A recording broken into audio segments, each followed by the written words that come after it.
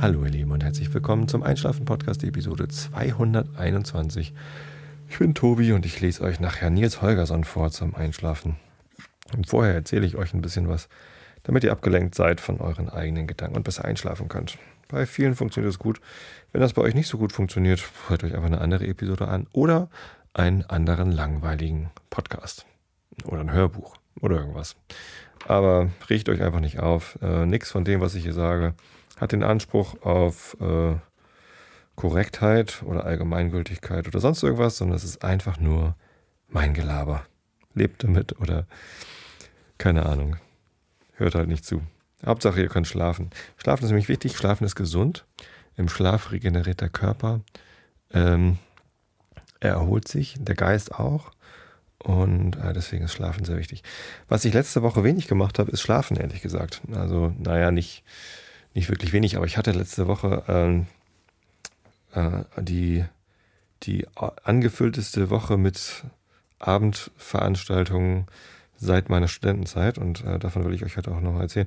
Ich fasse das mal eben zusammen, damit ihr gucken könnt, ob irgendwas für euch dabei ist, was euch aufregen könnte, damit ihr gleich abschalten könnt. Äh, und zwar war ich auf einem Konzert von Biffy Clyro am Mittwoch, davon werde ich euch erzählen.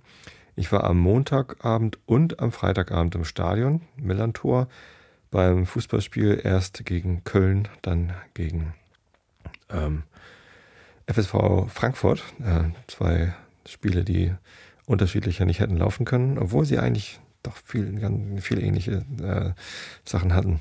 Äh, dazu dann eben dann später. Am Donnerstag hatte ich Bandprobe. Ähm, da erzähle ich nur was von der Band Raumsuche, die wir im Moment haben. Schwierige Sache.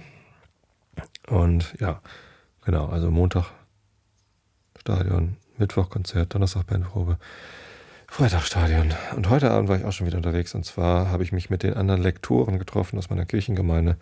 Und das erzähle ich euch dann ganz zum Schluss. Hm. Noch was Spannendes vorweg, also bevor es jetzt irgendwie losgeht mit langweilig sein. Und zwar ähm, habe ich eben gerade gelesen, dass Trent Reznor bekannt gegeben hat, dass ähm, er wieder mit Nine Inch Nails auf Tournee geht. Er hat gesagt, die Band hat sich komplett neu erfunden und jetzt will er wieder Konzerte machen. Die hatten ja irgendwie eigentlich gesagt, sie machen es nicht mehr und er hat mit How to Destroy an Angel oder How to Destroy Angels ne, mit seiner Frau hat er irgendwie ein Projekt gemacht und dann hat er irgendwie noch nebenbei einen Oscar bekommen für die Filmmusik von Social Network und ja, eine Flatterbombe hat er auch abbekommen, das hat er aber gar nicht gemerkt. Hm. Ja, und jetzt geht er wieder auf Tournee. Das finde ich total geil und äh, da bin ich jetzt schon, schon aufgeregt. Ähm, aber naja, mal schauen, ob ich da irgendwo ein Konzert finde, was, was in der Nähe ist. Hm. Ach, und noch was Neues. Äh, ich habe ein Logo geschenkt bekommen. Äh, vom, vom Bert. ähm, und zwar äh, für den Klugschieders Podcast. Ich habe ja den, den meinen, meinen dritt- oder viert Podcast hm. Habe ich sie mal gezählt? Ich habe Einschlafen, ich habe Pappkameraden, Realitätsabgleich und Heugi und ja, Klugschi, das ist der vierte. Den Band-Podcast, den mache ich ja nicht mehr wirklich.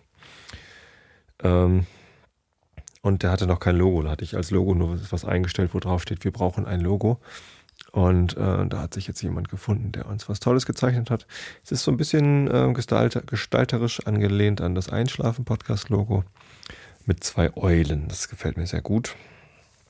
Die Idee mit den Eulen war von mir und die äh, Umsetzung, ja, daneben. Von da habe ich ähm, auf klugschieders.de schon drin und könnt ihr mal reingucken, ob euch das auch so gut gefällt wie mir. Ja. Ich finde es toll. Gibt es dann auch bald als T-Shirt.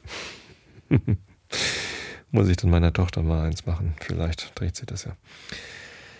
Gut, jetzt wird es aber langweilig. Na, wobei, müsst ihr mal sehen. Äh, ich fange an mit dem Biffy Clyro Konzert am Mittwochabend. Das war äh, in der großen Freiheit. Und ich habe über einen sehr freundlichen, freundlich gesinnten Hörer habe ich äh, die ähm, das Glück gehabt, noch äh, da reinzukommen. Es war nämlich restlos ausverkauft. Andererseits hätte ich auch einfach hinfahren können, denn es gab natürlich mal wieder einen florierenden äh, Schwarzmarkt von Leuten, die sich ähm, haufenweise Karten gekauft hatten, offensichtlich, und dann gehofft hatten, dass sie das irgendwie gewinnbringend verkaufen können. Hat wohl nicht so ganz geklappt, denn schon äh, in der großen Freiheit ganz am Anfang da unten bei der Reeperbahn kamen uns Kartenverkäufer entgegen, die halt Karten hochgehalten haben und irgendwie gerufen haben, hier billig Karten. Und direkt vor der großen Freiheit 36, wo das Konzert war, äh, standen auch Leute, die uns angesprochen haben, hey, brauchst du noch Karten? Hier 20 Euro. Ich, ich glaube, eigentlich haben die so 35 gekostet. Und es kann einfach nicht sein, dass die ähm, alle das Problem hatten, dass sie doch nicht rein konnten, weil sie krank waren oder dass irgendwie Freunde nicht gekommen sind oder so, sondern das waren Leute, die hatten sich einfach zu viele Karten gekauft in der Hoffnung, dass sie die teuer verkaufen. Ich mag sowas nicht. Ich finde das äh, unanständig. Hm. Mit irgendwie so einer knappen Ressource zu versuchen, sich irgendwie da gesund zu stoßen. Ja, wenn, also man kennt das ja von, von so ganz großen Konzerten, dass die immer ganz schnell ausverkauft sind, was sich von Metallica spielt oder so. Und dann werden die Karten zum doppelten Preis verkauft und das ist irgendwie, wenn dann irgendwie statt 90 auf einmal 180 Euro anfallen. Bei, bei Fußballspielen gibt es das, das ja auch ab und zu. Und das ist irgendwie, ich finde das, ich das total unanständig, sowas zu tun. Ich weiß nicht. Irgendwie komme ich damit nicht klar. Es ist natürlich ja, verlockend für Leute, die gerne Geld haben wollen, aber ich mag das nicht. Naja, ich hatte ja das Glück, dann da auf der Gästeliste gelandet zu sein. Und ähm, ja, das war ziemlich geil. Ich habe die Vorgruppe leider verpasst. Christian und ich mussten leider nochmal Richtung Willingsburg fahren, weil ich meine super duper Hörschutzstöpsel äh, vergessen hatte. Und ich wollte ja natürlich jetzt das erste Rockkonzert, auf dem ich war, dann äh, mit dem Hörschutz erleben. Und ja, was soll ich sagen? Es hat sich äh, absolut gelohnt. Die, diese Stöpsel, die machen es halt einfach einen Ticken leiser. Aber der Sound war trotzdem exzellent. Hm. Vielleicht ein bisschen viel Bass. Ich bin ja, ich bin ja Bassist und ich finde Bass eigentlich ganz geil. Das war vielleicht ein bisschen die Bassdrum irgendwie ein bisschen laut. Gitarren ticken zu leise. Aber es war, es war grandios. Also Biffy Clyro ist eine Band, die machen ja, Rockmusik, äh, Gitarre, Bass, Schlagzeug mit ganz vielen äh, Chören, Gesängen, so zweistimmige Gesänge und dreistimmige auch. Und auf dem Album haben sie ähm, natürlich dann mehrere Gitarrenspuren eingespielt und auch ein bisschen Keyboards und so, so Samples. Äh, und deswegen hatten sie einen zweiten Gitarristen mit auf der Bühne. Der gehörte aber offensichtlich nicht mit zur Band. Der musste dann so neben dem Schlagzeug stehen und auch so aufs Schlagzeug gucken. Und der durfte, also der, der, der sprang auch nur ganz selten mal irgendwie rum oder nach vorne oder so, sondern hatte sichtlich Spaß, hat ihm offenbar Spaß gemacht, aber gehörte irgendwie auch ganz offensichtlich nicht zur Band. Und äh, den Keyboard habe ich gar nicht gesehen, weil ich auf der Empore stand oben links und äh, der Keyboarder stand eben auch links auf der Bühne und das konnte ich halt dann nicht sehen, wie der sich da benommen hat. Aber der hatte auch was an, der hatte einen Anzug an und die die drei von, von Biffy Clyro, von der, von der Kernband, sag ich mal, äh, die haben alle drei mit freiem Oberkörper gespielt. naja, muss man mögen. Aber ich meine, die haben immerhin die, die Brüste, äh, die, die, die Brust, ihre ja, Brüste, weil es halt mehrere sind. Ne? Äh, jeder hatte seine Brust rasiert und ähm, sind schon auch kernige Typen. Also war jetzt kein Schwabbelbauch zu sehen oder so, sondern ähm, durchtrainierte Kerle aus Schottland. Und dann haben die da ein Konzert hingelegt. Das war echt, also ich kenne die Platten jetzt schon ein bisschen länger und höre die auch gerne äh, rauf und runter, weil das sehr interessante Songs sind. Ziemlich durchgestylt, super duper arrangiert. Also kompositorische Meisterwerke. Naja, also ja, ja, was Rockmusik angeht, sind die mal ziemlich weit vorne dabei. Ich weiß gar nicht, womit man das stilistisch, stilistisch vergleichen könnte. Das ist halt moderner Rock vom Sound vielleicht ja so Foo Fighters mäßig, also Grunge Rock, ne, nee, nicht wirklich. Grunge ist ja immer mehr so dreckigere, einfachere Musik. Das ist äh, ziemlich durchgestylt und auch häufig mit cleanen, stilleren Passagen. Starke Dynamikwechsel von treibend, rockig, dreckig über äh, fisselig, feinteilig äh, bis hin zu ähm, ja, so seichten Stellen. Und ja, also die, die, die Platten sind halt schon, schon aufregend. Aber dass die live die gleichen Sachen so hinlegen können, das klang teilweise wie von der Platte. Also man hat ge gemerkt, dass es live gespielt war, weil sie dann bestimmte Sachen eben ja noch extra dreckig hingerotzt haben und aber also es war, klang zu keinem Zeitpunkt unkontrolliert. Die, die sahen zwar unkontrolliert aus, weil sie rumgesprungen sind und was ich besonders cool fand, was ich bisher noch nicht gesehen hatte, war ähm, also die drei aus der Kernband sind halt irgendwie Gitarrist, Bassist und Schlagzeuger. Ähm, damit äh, Gitarrist und Schlagzeuger aber nicht immer an die gleiche Position gebunden sind, weil sie so viel singen müssen, haben die vorne Mikros hingestellt, am Bühnenrand, wo sie halt normalerweise stehen, ähm, aber auch nochmal beim Schlagzeug, sodass sie sich halt umdrehen können, irgendwie ein Bein auf die Bassdrum stellen und dann äh, da trotzdem noch singen können, weil da eben auch nochmal Gesangsmikrofone waren. Und dadurch hatten die halt viel mehr Bewegungsspielraum auf der Bühne und konnten dann, den haben sie auch genutzt. Gitarrist und Hauptsänger ist dann auch häufiger mal irgendwie auf die Amps gesprungen und sonst was gemacht. Aber da war richtig ordentlich was los da auf der Bühne. Und das hat, das hat echt Spaß gemacht, denen zuzugucken, weil sie irgendwie sichtlich Spaß am Spielen hatten und ja, sie haben ziemlich wenig geredet, so ganz wenig mal eine Ansage zwischendurch gemacht. Ich glaube, der Bassist hat einmal was gesagt und der Sänger hat irgendwie zweimal was gesagt. Ansonsten haben die halt ihre Songs runtergespielt. Ähm, aber dafür so, dabei so viel Spielfreude an den Tag gelegt und das aber trotzdem mit einer, einer wahnwitzigen Präzision da runtergebrettert. Das, das war echt beeindruckend. Also für, für Musiker, aber auch für Fans dieser Musikart ein absolutes Muss, zu so einem Konzert zu gehen. Das, äh, da kann man sich ordentlich was abgucken. Ja, also natürlich nicht abgucken im Sinne von, ich kann das dann hinterher, sondern es ist so, ja, es war eine echte Motivationsspritze für mich. Also sowas werde ich zwar nie erreichen, aber ähm, es setzt halt mal irgendwie eine, eine ziemlich hohe Latte so. Und es ist für mich eher so Anreiz, mir auch nochmal mehr Mühe zu geben bei dem, wie wir unsere Songs dann live vortragen. Ja. Ah, also Biffy Clyro werde ich mir jederzeit wieder live angucken, wenn ich irgendwie dazu komme. Da würde ich sogar zu solchen Festivals hingehen, nur um die zu sehen. In Schesel. Vielleicht spielen sie dieses Jahr in Schesel, aber da habe ich jetzt schon wieder keine Karte. Ist auch schon wieder ausverkauft wahrscheinlich. Naja, Schesel ist ein kleines Kaff hier südlich von wo ich wohne. Ähm, in Niedersachsen zwischen Bremen und, und Hamburg. Und ähm, da ist einmal im Jahr das Hurricane Festival. Da spielen auch immer ziemlich viele große Bands. Biffy Clyro hat da garantiert auch schon mal gespielt. Ich weiß jetzt nicht, ob sie dieses Jahr wieder dabei sind, aber naja, wie gesagt, Karte habe ich eh nicht. Hm, war großartig. Kommen wir zum nächsten Thema, äh, Bandprobe. Nee, eigentlich habe ich Fußball als nächstes gesagt, ne? Ist ja auch egal. Kommen wir mal zur Bandprobe. Wir hatten halt am Donnerstag nach diesem Konzert Bandprobe und ähm, wir versuchen gerade bei der Band äh, Sachen aufzunehmen, weil wir nicht genau wissen, äh, wie lange wir diesen Raum noch haben können. Der Vermieter von dem Raum, der ist so ein bisschen komisch.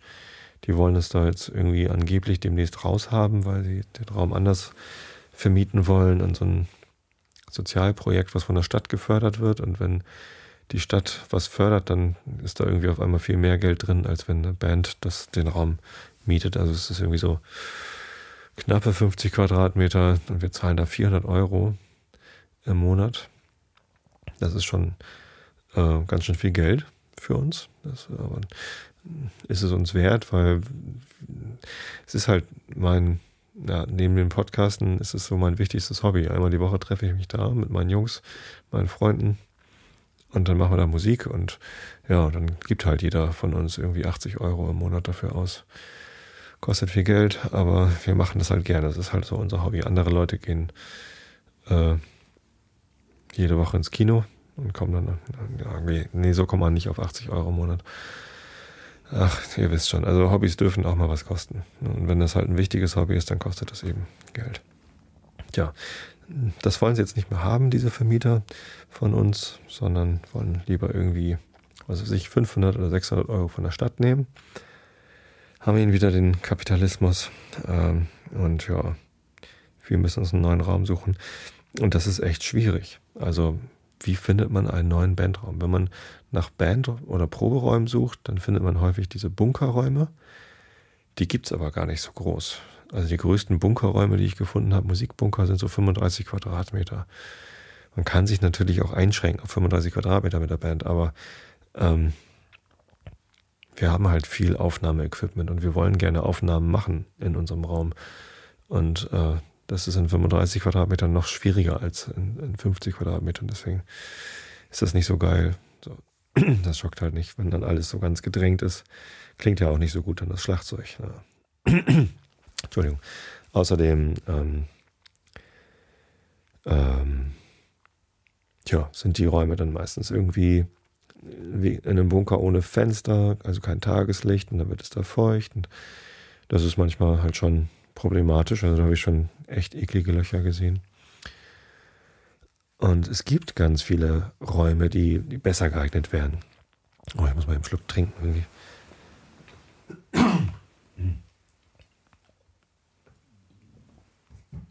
Tja, es ist immer noch Winter. Und man hört, dass meine Stimme immer noch angeschlagen ist. Aber ich bin nicht krank, das ist schon mal gut. Ähm, muss ich mal gucken, ob ich das nachher rausschneide. Die, die Hustegeräusche hier. Vielleicht mache ich sie wenigstens leiser. Also es gibt halt Flächen, auch in Hamburg, die sind ungenutzt, liegen brach. Ähm, und keiner weiß, was er damit anfangen könnte. Vielleicht in einem Bürohaus im im Dachgeschoss, wo aber nichts mehr ist, oder alte Lagerflächen, die nicht mehr als Lager gebraucht werden, oder Kellerräume von irgendeiner Firma oder in Fabriken gibt es das häufig. Produktionsflächen, die halt nicht mehr gebraucht werden. Ähm, und die stehen dann leer und der Eigentümer weiß gar nicht, dass er damit irgendwas tun könnte. Wir haben lange Zeit in so einem Raum geprobt, wo allerdings der Eigentümer es auch gar nicht wusste, weil der, der Nebenmieter uns irgendwie den Raum irgendwie zugeschanzt hatte. Es war ja, eine zwielichtige Geschichte. Ist auch nicht lange gut gegangen. Also wir wollen natürlich lieber etwas legal mieten. Hm, aber äh, tja, da, da gibt es ganz viel. Aber also wie findet man die? Also die sind nirgendwo ausgeschrieben wenn sie ausgeschrieben wären, dann wüssten die Vermieter ja, also die, die, die Eigentümer schon, dass sie das vermieten könnten. Aber ich glaube, es gibt ganz viele Flächen, von denen die Eigentümer gar nicht wissen, dass sie gut an eine Band vermietet werden könnten. Ja, dann liegen die da brach und keiner nutzt sie und das ist eigentlich doof. Jetzt ist halt die Frage, wie, wie kommt man da ran? Also über die Verzeichnisse offenbar nicht. Ähm, Im Internet habe ich auch gesucht und ich habe auch getwittert und es wurde von ganz vielen Leuten retweetet. Vielen Dank, falls ihr da auch dabei wart. Eigentlich müsste gesamt Twitter müsste diesen Tweet mittlerweile gelesen haben, dass ich einen Bandraum suche oder einen Studioraum. Ähm, halt mindestens 50 Quadratmeter, ähm, am liebsten beheizt gerne auch indirekt beheizt und halt zwischen Hamburg Innenstadt und Hamburg Wilhelmsburg. Das sind so die Rahmenbedingungen, aber ich, ich ja, finde halt nichts. Was man findet, sind ja, wie gesagt, Bunkerräume oder richtige Studios. Da habe ich auch schon mit zwei Leuten telefoniert, so, oh, ich habe da gesehen, ist was frei. Ja, ja. Aber das sind dann voll bestückte Studios mit Aufnahmeequipment und dann steht da ein Schlagzeug, was man mitbenutzen soll. Eigenes Schlagzeug ist dann da gar nicht erwünscht. Und ja, das ist es halt nicht. Also wir haben ja unser Kram. Wir wollen ja unseren Kram benutzen auch. Und solche Studios sind dann halt auch teuer. Das, ist dann, das sind dann auch keine Proberäume, sondern die sind halt explizit dazu da, dass man da was aufnimmt. Tja, das ist es einfach nicht. Hm, deswegen im, im Moment noch erfolglos.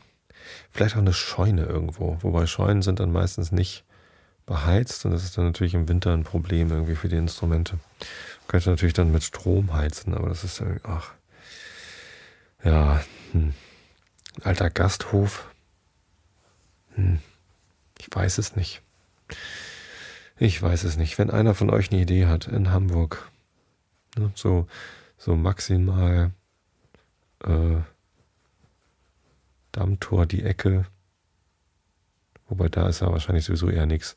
Innenstadt, Berliner Tor, gern auch Hammerbrook. Ich meine, Hammerbrook, das ist doch City Süd, da stehen ganz viele Büros leer. Vielleicht muss man da mal einfach rumfahren und gucken. Da war auch früher mal ein Proberaum von uns in einem alten Industriegebäude. Hm. Ja, oder halt äh, Veddel, Wilhelmsburg, so die Ecke. Harburg vielleicht gerade noch so hm, in der Phoenix. hm, hm, hm. Ja.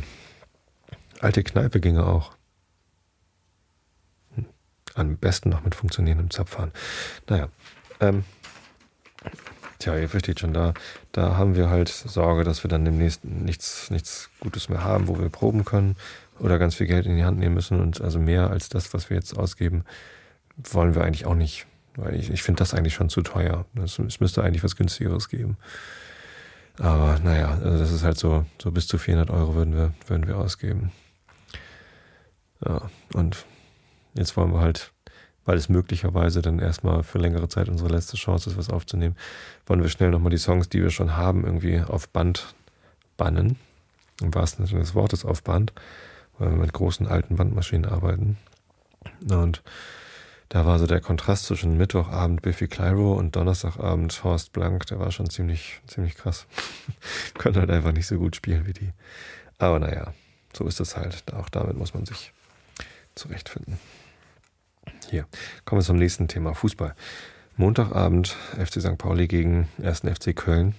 Und äh, das war ein äh, deprimierendes Erlebnis für mich. Ich saß auf der Süd und habe da also aus, aus fast nächster Nähe irgendwie sehen können, wie der Markus Thorand auf, im, im Rückwärtsgang den Herrn Mittermeier, wollte ich gerade sagen, Meierhofer von, von Köln irgendwie verfolgt hat und ja, wahrscheinlich, wahrscheinlich gab es eine Berührung. Man kann das, ich konnte es im Stadion nicht sehen und äh, auf den Fernsehbildern konnte ich es auch nicht sehen. Aber ob es dafür eine gelbe Karte geben muss, ist mal irgendwie fraglich. Es gab zumindest einen Freistoß und der landete halt im Tor 1-0 für Köln und das ist dann auch der Endstand gewesen. Obwohl St. Pauli trotz der zweiten gelben Karte für Markus Doran in der 43. Minute oder so und der daraus resultierenden Unterzahl für über eine Halbzeit äh, richtig gut gekämpft hat. Also sie haben nicht gut gespielt, ne, das muss man auch ganz klar sagen. St. Pauli hat da etliche Chancen liegen lassen. Und wenn man den Ball nicht ins Tor schießt, dann kann man nicht sagen, dass man gut gespielt hat. Das, das gehört halt auch mit zum Fußballspielen dazu, dass der Ball dann auch irgendwann mal im Tor landet. Und wenn der, der, wenn der Abschluss immer nur so ein Schüsschen aufs Tor ist oder irgendwie kilometerweit daneben, dann war es eben nicht gut gespielt. Aber alles andere, also man, man sah halt, wie St. Pauli, also die Spieler von St. Pauli wirklich alles gegeben haben in den Zweikämpfen und gegrätscht haben. Und ich meine, es gab insgesamt zehn gelbe Karten. Also wenn man jetzt mal die gelb-roten Karten als zwei gelbe Karten zählt, die es dann eigentlich auch sind, ähm, gab es halt sieben gelbe Karten für St. Pauli-Spieler und äh, drei für Köln-Spieler. Und das, ja, es war halt tatsächlich ein kampfbetontes Spiel. Der Schiri war vielleicht so ein bisschen übermotiviert. Nein, eigentlich war nicht besonders gut. Ich habe auch im Stadion, äh, ich mache ja, wie ihr wisst, äh, sieben Wochen ohne Schimpfen. Wisst ihr das? Habe ich das letzte Woche schon erzählt? Es ist ja gerade Fastenzeit. Ich habe mich dazu entschieden, sieben Wochen lang ähm, nicht zu schimpfen. Grund dafür ist, dass ich halt am Aschermittwoch, äh, als es, als die Fastenzeit angefangen hat, ähm, mit Holgi einen Podcast gemacht habe und der hat mir Louis C.K. empfohlen. Dann habe ich das gesehen. Da fiel mir ein, dass eine äh, meiner Hörerinnen mir letztens Feedback zum Klugschieders Podcast gegeben hat und gesagt hat, dass in, äh, dass ich manchmal so streng bin mit den Kindern. Und ja, äh, dass ich, ja, es ist auch manchmal so, dass ich sie ordentlich zurückpfeife, wenn sie irgendwie auf dem Mikrofon rumhauen und so. Ähm, und man, ich mache diese sieben Wochen ohne irgendwas immer, um mir dieses Irgendwas äh, besonders bewusst zu sein. Und sieben Wochen ohne Schimpfen hilft mir halt irgendwie mir jede, jedes harten Wortes, das ich führe, äh, bewusst zu sein. Und an dem Montagabend im Stadion habe ich geschimpft über den Schiri, weil der halt wirklich alles verpfiffen hat und ja, er war auch parteiisch und das war irgendwie, das war keine gute Leistung. Also ja, da wird man dann auch mal sauer. Ne? Und dann habe ich auch geschimpft. Aber ich war mir dessen bewusst und habe mich gleich wieder zurückgenommen. Ich mag das eigentlich überhaupt nicht gerne, dieses Schimpfen auf den Schiri. Das ist immer ein bisschen albern. Aber die Emotionen kochen halt hoch und dann, ja, na, gut ist, wenn man sich dessen wenigstens noch bewusst ist, was man da für alberne Sachen von sich gibt. Ja, das war, das war frustrierend, der Montagabend im Stadion. Aber immerhin haben sie gekämpft, die St. Pauli-Spieler. Und das hat mir gut gefallen. Und die Kölner Spieler leider gar nicht. Köln hat ein ziemlich schwaches Spiel gemacht. Also wenn man über eine Halbzeit in Überzahl spielt ähm, und Ambition hat aufzusteigen und so, dann muss man eine Mannschaft wie St. Pauli auch mal höher schlagen als 1 zu 0. Nein, haben sie nicht gemacht, haben irgendwie vorsichtig irgendwie hinten reingestellt und keine Ahnung, das war, das war eine ziemlich schwache Leistung vom ersten FC Köln, aber sie haben halt gewonnen. So. Ja, Pech. Ähm, ganz anders am Freitag, da war ich dann wieder im Stadion und hatte gehofft, dass St. Pauli eben wieder so kämpft. Mit stark dezimierter Mannschaft, weil neben Markus Thorand hat ja auch noch Florian Mohr die äh, gelb-rote Karte gesehen und die ja, Standard-Innenverteidigung von St. Pauli war halt dann äh, gesperrt. Außerdem hat Finn Bartelt sich noch verletzt und war ähm, äh, nicht einsatzfähig. Und unser Kapitän, der Boll, Fabian Boll, hat sich ähm, nach seinem kurzen Einsatz am Montag, irgendwie ist er in der 65. Minute oder so eingewechselt worden, äh, auch schon wieder krank gemeldet. Er hatte eine Grippe und war so richtig krank geschrieben. Und wenn solche Spieler alle fehlen, dann ja, macht man sich natürlich Sorgen, wie funktioniert das dann? Aber mit ähm, Jan-Philipp Kaller, auch als, ähm, als Kapitän, glaube ich, ja, der war Kapitän dann, und äh, dem Christopher Avivor, der von Hannover 96 zu uns gekommen ist, in der Innenverteidigung. Es hat erstaunlich gut geklappt. Kaller ist sogar in die äh, KK11 des Tages gekommen, zusammen mit äh, Patrick Funk und dann natürlich Daniel Ginzek. Er sagt Daniel Ginzek, also er selber spricht seinen Namen so aus. Alle anderen sagen Daniel Ginczek. Das verwirrt mich. Äh, ich, ja, ich weiß aber nicht, wie man, wie man den Namen ausspricht. Also eigentlich würde ich Ginczek sagen.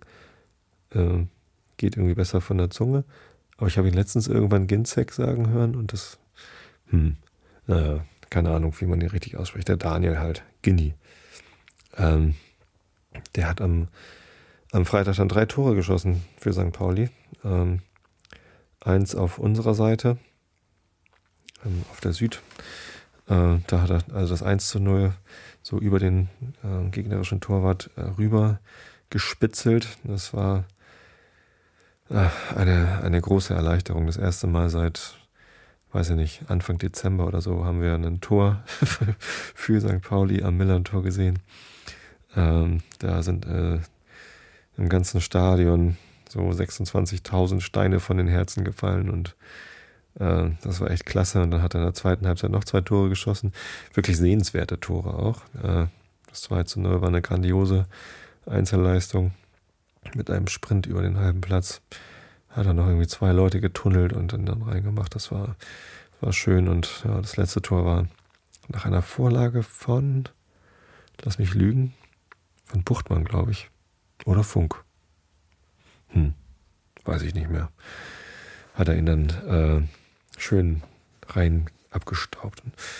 Das war, das war geil am Freitag. Da war, also es war genauso kampfbetont. Es war auch irgendwie Grätschen und, und Kämpfen und Schwitzen und ne, äh, so wie man St. Pauli halt mag.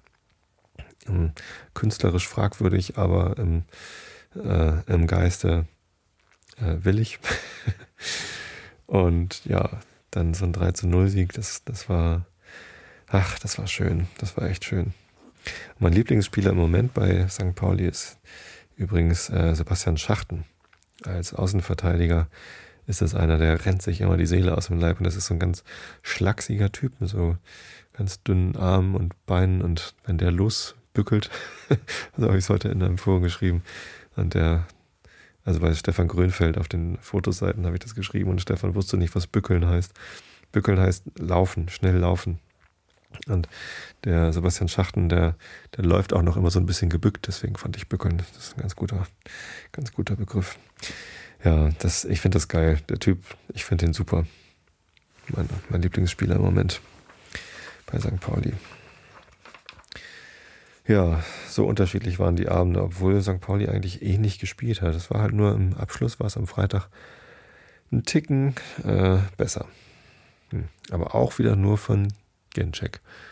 Der Lennart Tief, von dem ich mir so viel versprochen habe, äh, der kam im Sommer von Werder Bremen junger Spieler, ist gerade 21 geworden diese Woche.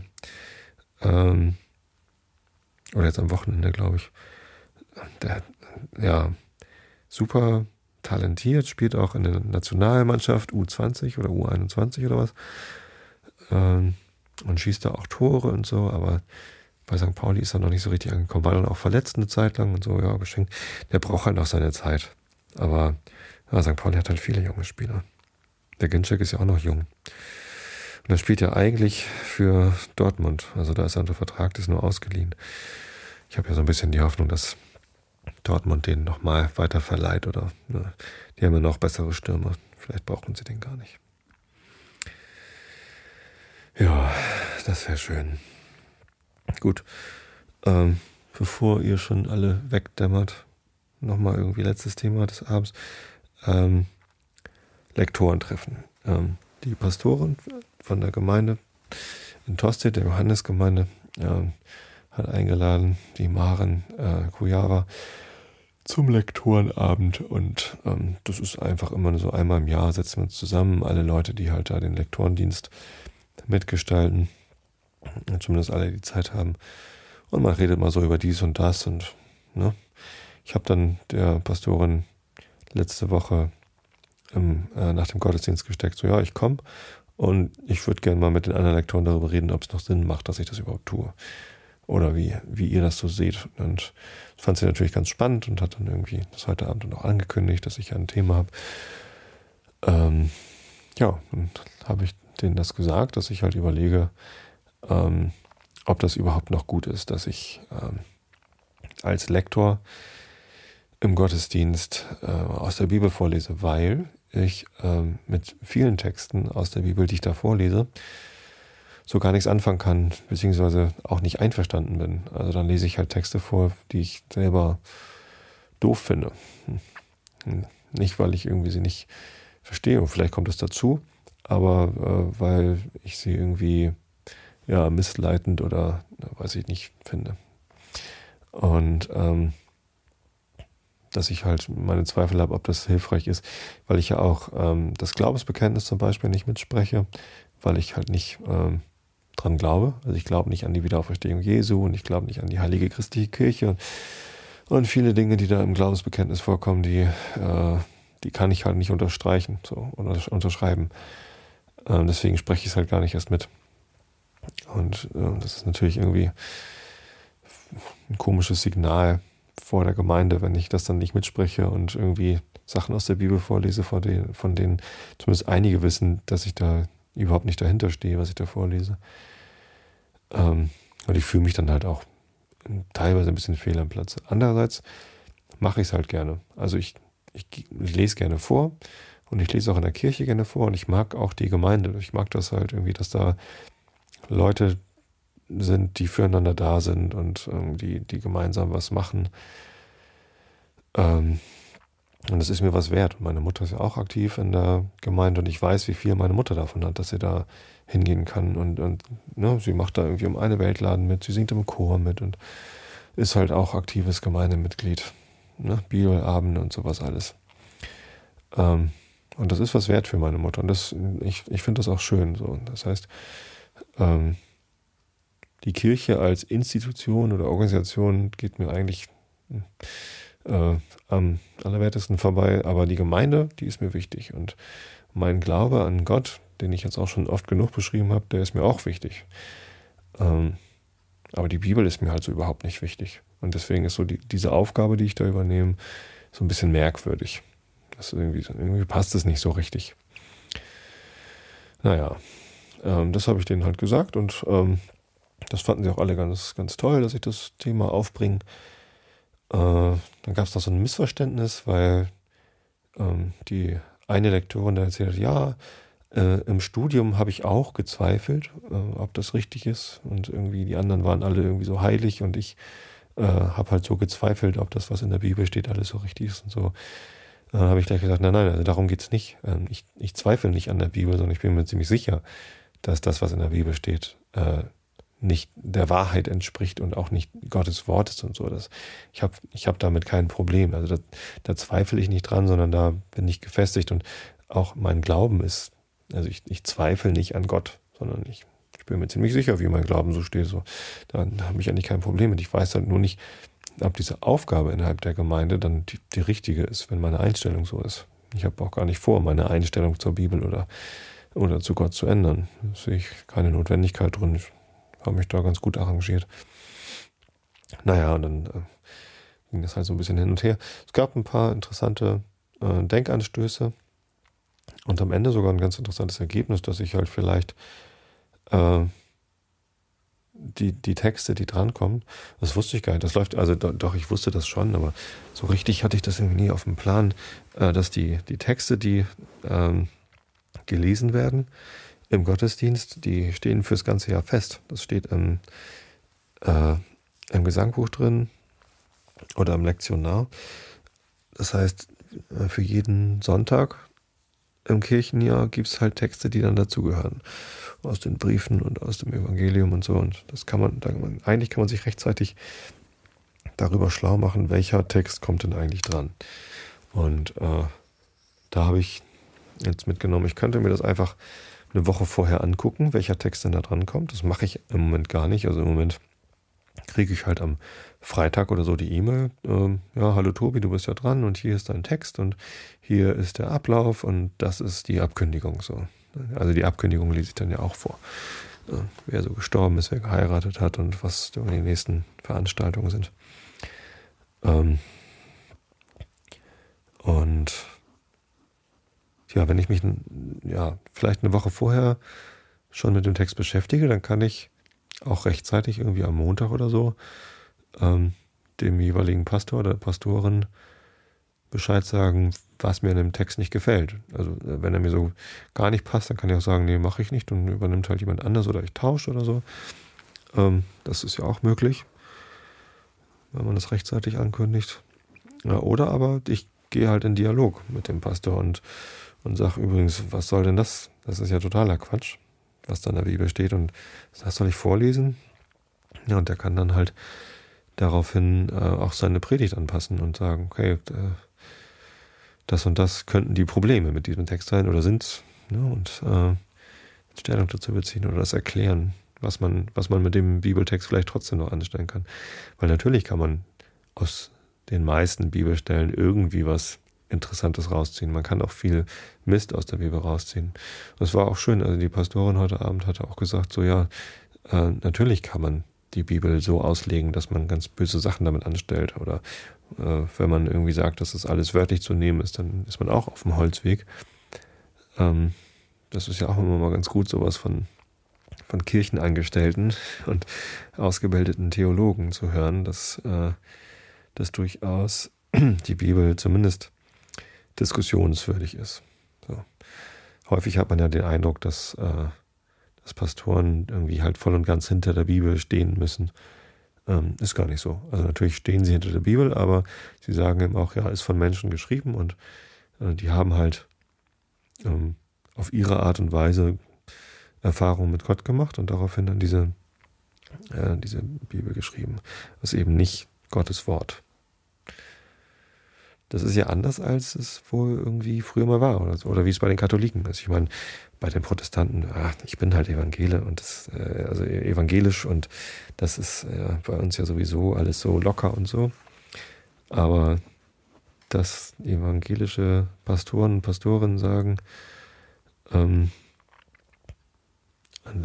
dass es eben nicht Gottes Wort ist, sondern äh, das Wort der Menschen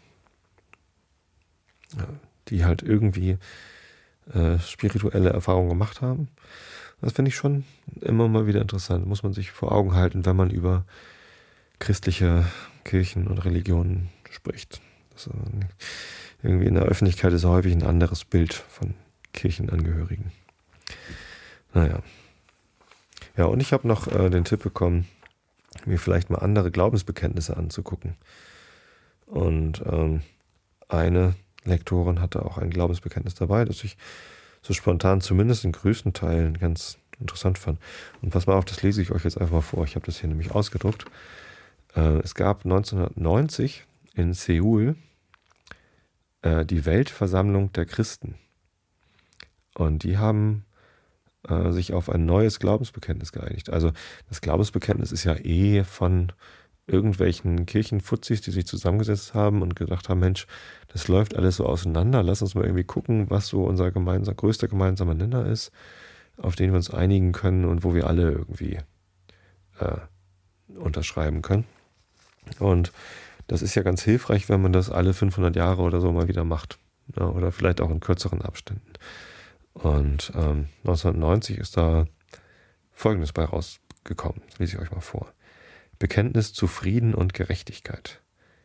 Wir glauben an Gott, der die Liebe ist und der die Welt allen Menschen geschenkt hat. Wir glauben nicht an das Recht des Stärkeren, an die Stärke der Waffen, die Macht der Unterdrückung. Wir glauben an Jesus Christus, der gekommen ist, uns zu heilen und der und, und der uns aus allen tödlichen Abhängigkeiten befreit. Da steht und, deswegen habe ich mich gerade verlesen.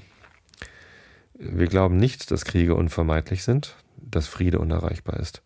Wir glauben an die Gemeinschaft der Heiligen, die berufen ist, im Dienste der Menschheit zu stehen.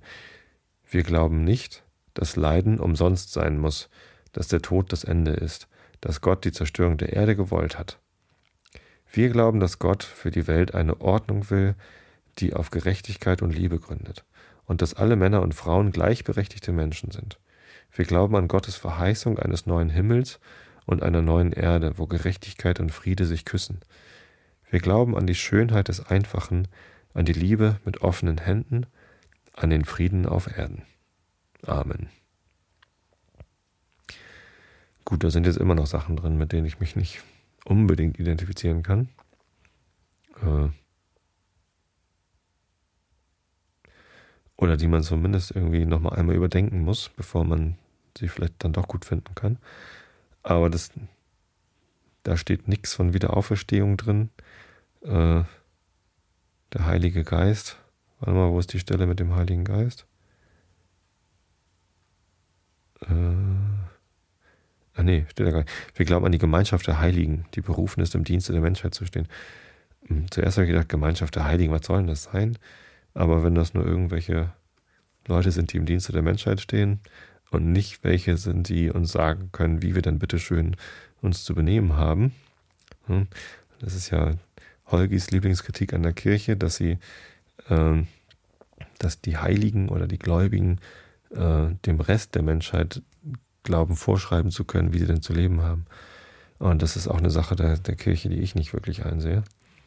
Aber wenn die Gemeinschaft der Heiligen nur dazu berufen ist, im Dienste der Menschheit zu stehen.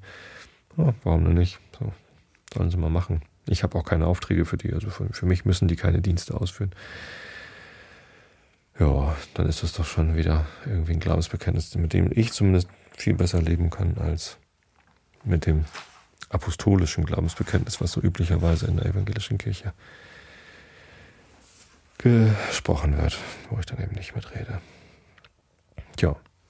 So. Ich hoffe, das war langweilig genug für euch. Ähm, bevor meine Stimme jetzt gleich wieder äh, belegt wird und versagt, lese ich euch noch ein bisschen Nils Holgersson vor. Und dann schlaft ihr aber gefälligst, ja? Nicht, dass ihr wieder die ganze Nacht wach liegt. Ich hoffe, dass es irgendwie nicht zu aufregend war jetzt für euch. Wirklich. Meine ich ernst. Also, entspannt euch. Lehnt euch zurück. Jetzt kommt Nils Holgersson.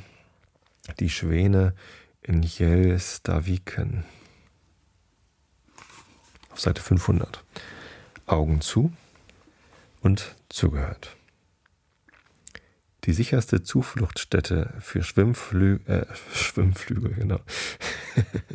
also ich lese jetzt, glaube ich, schon wieder Frakturschrift vor, aber hier steht Schwimmvögel und nicht Schwimmflügel. Vielleicht bin ich doch noch irgendwie von meinen Töchtern und dem Schwimmunterricht ein bisschen geprägt.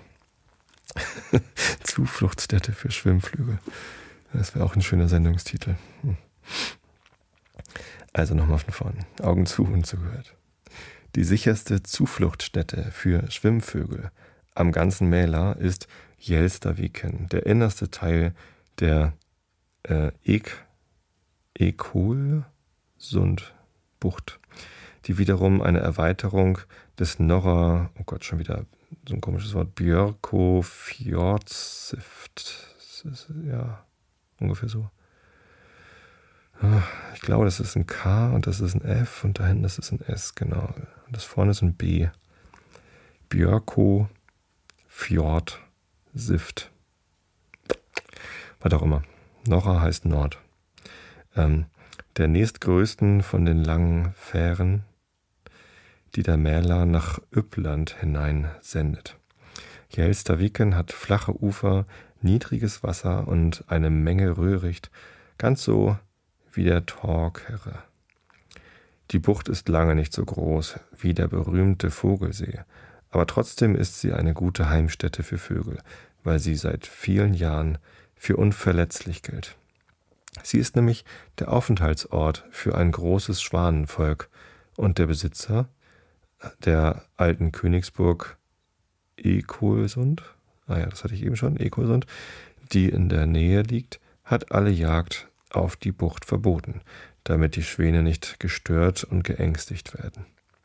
Sobald Akka Nachricht erhalten hatte, dass das Schwanenvolk ihrer Hilfe bedürfe, eilte sie nach Jelstaviken. Sie langte mit ihrer Schar eines Abends dort an und sah sofort, dass ein großes Unglück geschehen war. Die großen Schwanennester waren losgerissen und trieben in dem starken Sturm auf der Bucht. Einige waren schon auseinandergefallen. Ein paar waren umgestürzt, und die Eier, die darin gewesen waren, lagen auf dem Grunde des Sees und schimmerten durch das Wasser. Als sich Akka in der Bucht niederließ, waren alle Vögel, die dort wohnten, am östlichen Ufer versammelt, wo sie am besten gegen den Wind geschützt waren. Obwohl sie sehr durch die Überschwemmung gelitten hatten, waren sie viel zu stolz, um ihre Betrübnis zu zeigen.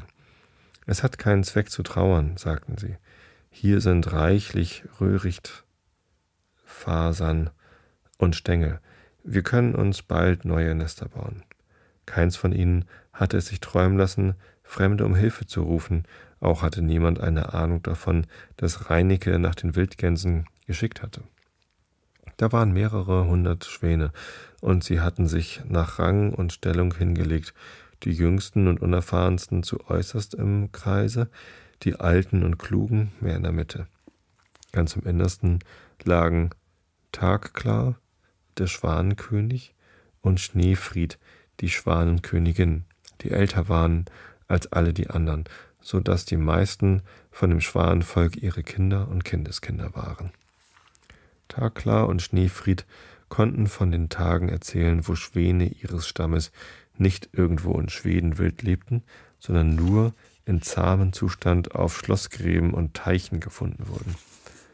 Aber dann waren ein paar Schwäne der Gefangenschaft entronnen und hatten sich in Helstaviken niedergelassen, und von den beiden stammten alle die Schwäne ab, die dort wohnten. Jetzt nisteten in vielen der Mälarbuchten wilde Schwäne ebenso wie auf dem Torkern und dem Hornberger, Hornberger See. Alle diese Ansiedler waren von Jelstaviken gekommen, und die Schwäne, die dort wohnten, waren sehr stolz darauf, dass ihr Geschlecht sich so von See zu See ausbreitete. Die Wildgänse hatten sich zufällig an dem westlichen Ufer niedergelassen. Als Akka aber sah, wo die Schwäne lagen, schwamm sie sogleich auf sie zu. Sie war selbst sehr erstaunt, dass sie nach ihr geschickt hatten, aber sie betrachtete es als eine Ehre und wollte keinen Augenblick vergeuden, wenn es sich darum handelte, ihnen zu helfen. Als Akka in die Nähe der Schwäne kam, hielt sie mit dem Schwimmen inne, um zu sehen, ob die Gänse, die ihr folgten, in gerader Linie und mit gleich großen Zwischenräumen hinter ihr dreinschwammen. Schwimmt jetzt schnell und hübsch, sagte sie. Starrt die Schwäne nicht an, als wenn ihr nie etwas Schöneres gesehen hättet, und kümmert euch nicht darum, was sie, zu, äh, was sie zu euch sagen.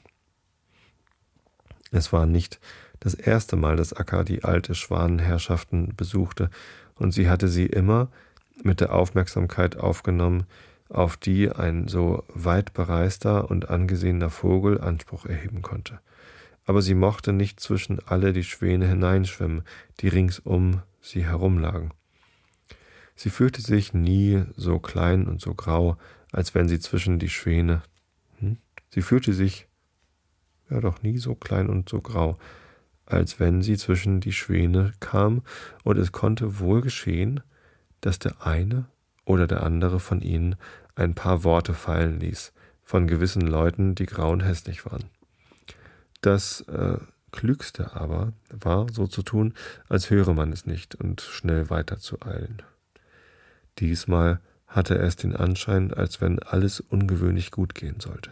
Die Schwäne glitten ganz still zur Seite und die wilden Gänse schwammen gleichsam durch eine Straße mit den großen weiß schimmernden Vögeln zu beiden Seiten. Es waren, es war sehr hübsch zu sehen, wie sie da lagen und die Flügel wie Segel aufspannten, um einen guten Eindruck auf die Fremden zu machen. Sie machten nicht eine einzige Bemerkung, und Akka war ganz erstaunt. Takla hat früher von ihren Ungezogenheiten gehört und ihnen gesagt, dass sie sich wie gebildete Tiere benehmen sollen, dachte die Führergans. Aber als die Schwäne sich so recht bemühten, gute Lebensart zu zeigen, erblickten sie den weißen Gänserich, der in der langen Reihe der Gänse als der letzte geschwommen kam. Da ging ein Brausen der Verwunderung und der Empörung durch die Schar, und mit einem Schlage war es vorbei mit dem feinen Wesen. Was ist das? rief einer von ihnen. Wollen die wilden Gänse jetzt weiße Federn haben? Sie bilden sich doch wohl nicht ein, dass sie deswegen Schwäne werden, schrien sie von allen Seiten. Sie riefen alle durcheinander und mit ihren klangvollen, starken Stimmen. Es war nicht möglich, ihnen zu erklären, dass es eine zahme Gans sei, die mit den Wildgänsen gekommen war. Das ist wohl der Gänsekönig selbst, der da kommt, spotteten sie ist das eine bodenlose Unverschämtheit. Es ist ja gar keine Gans, es ist nur eine zahme Ente. Der große Weiße gedachte Ackers Befehl, sich nicht an das zu kehren, was sie zu hören bekämen. Er schwieg ganz still und schwamm so schnell er konnte, aber es half ihm nichts, die Schwäne wurden immer zudringlicher. Was für eine Kröte hat er da auf dem Rücken? fragte einer. Sie glauben wohl, wir können nicht sehen, dass es eine Kröte ist, weil sie wie ein Mensch gekleidet ist. Die Schwäne, die bisher in einer so hübschen Ordnung dagelegen hatten, schwammen nun in der wildesten Verwirrung bunt durcheinander. Alle drängten sich vor, um die weiße Wildgans zu sehen. So ein weißer Gänserich sollte sich schämen, sich von uns, äh, sich vor uns Schwänen sehen zu lassen. Er ist, weiß Gott, ebenso grau wie die anderen. Er hat sich nur auf einem Bauernhof in einen Milchkübel getaucht. Acker war gerade bis zu Tagklar gelangt und wollte ihn eben fragen, womit sie ihm helfen könne, als er auf die Erregung Aufmerksamkeit wurde, die unter dem Schwanenvolk entstanden war. Was ist denn da los? Habe ich nicht befohlen, dass sie höflich gegen Fremde sein sollen? Sagte er und sah sehr unzufrieden aus. Schneefried, die Schwanenkönigin, schwamm hin, um ihre Leute in Ordnung zu halten, und Takla wandte sich wieder an Acker. Da kam Schneefried zurück und sah sehr erregt aus. Kannst du sie nicht zum Schweigen bringen? rief, er, rief ihr der Schwanenkönig entgegen. Da ist eine weiße Wildgans, erwiderte Schneefried. Das ist doch wirklich ein Skandal. Es wundert mich nicht, dass Sie empört sind. Eine weiße Wildgans? sagte Takla. Das ist zu arg. Das gibt es ja gar nicht. Du musst dich geirrt haben. Das Gedränge um den Gänserich Martin wurde immer größer und die anderen Wildgänse versuchten, zu ihm hinzuschwimmen, aber sie wurden hin und her gepufft und konnten nicht an ihn herangelangen. Der alte Schwanenkönig, der der stärkste von ihnen allen war, setzte sich jetzt schnell in Bewegung, schob alle die anderen zur Seite und bahnte sich einen Weg zu dem Weißen. Als er aber sah, äh, aber als er sah, dass da wirklich eine weiße Gans auf dem Wasser lag, wurde er ebenso zornig wie alle die anderen. Er fauchte vor Wut, ging geradewegs auf den Gänserich Martin los und riss ihm ein paar Federn aus. Ich will dich lehren, du Wildgans, so aufgeputzt zu uns Schwänen zu kommen, sagte er. Flieg, Gänserich Martin, flieg, rief Acker, denn sie sah ein, dass die Schwäne dem großen Weißen jede Feder ausrupfen würden. Und flieg, flieg, rief auch Däumling. Aber der Gänserich lag so zwischen den Schwänen eingeklemmt, dass er keinen Platz bekommen konnte, um die Flügel zu heben und von allen Seiten streckten die Schwäne ihre starken Schnäbel vor, um ihm die Federn auszurupfen. Der Gänserich Martin verteidigte sich nach besten Kräften. Er biss und schlug, und die anderen Wildgänse gingen auf die Schwäne los. Aber es war klar, wie das Ende hätte ausfallen müssen, wenn sie nicht ganz unerwartet Hilfe bekommen hätten. Da war ein Rotschwänzchen, das hatte gesehen, dass die Wildgänse zwischen den Schwänen in die Klemme geraten waren, und es stieß sofort den scharfen Warnungsschrei aus, dessen sich die kleinen Vögel bedienen, wenn es gilt, einen Habicht oder einen Falken in die Flucht zu schlagen. Und kaum war der Ruf dreimal ertönt, als alle die kleinen Vögel der ganzen Umgegend auf blitzschnellen Schwingen in einem großen, lärmenden Schwarm nach Jelsterwiken hinabschossen. Und diese armen, schwachen Kleinen warfen sich über die Schwäne. Sie kreischten ihnen in die Ohren, sie versperrten ihnen die Aussicht mit ihren Flügeln, sie machten sie ganz verwirrt mit ihrem Flattern, sie brachten sie ganz außer sich, indem sie riefen Schämt euch, ihr Schwäne, schämt euch, schämt euch, ihr Schwäne. Der Überfall der kleinen Vögel währte nur wenige Augenblicke, aber als sie fort waren und die Schwäne wieder zur Besinnung kamen, da sahen sie, dass die Wildgänse sich davon gemacht hatten und auf die andere Seite der Bucht hinübergeflogen waren. Ja, das war ja aufregend. So, ich hoffe, ihr schlaft jetzt schön. Ich wünsche euch allen eine schöne Woche. Hm, erholt euch gut. Hm, wenn ihr Lust habt, hören wir uns am Mittwoch beim Realitätsabgleich. Ansonsten nächste Woche wieder. Oh, hab euch alle lieb. Bis zum nächsten Mal.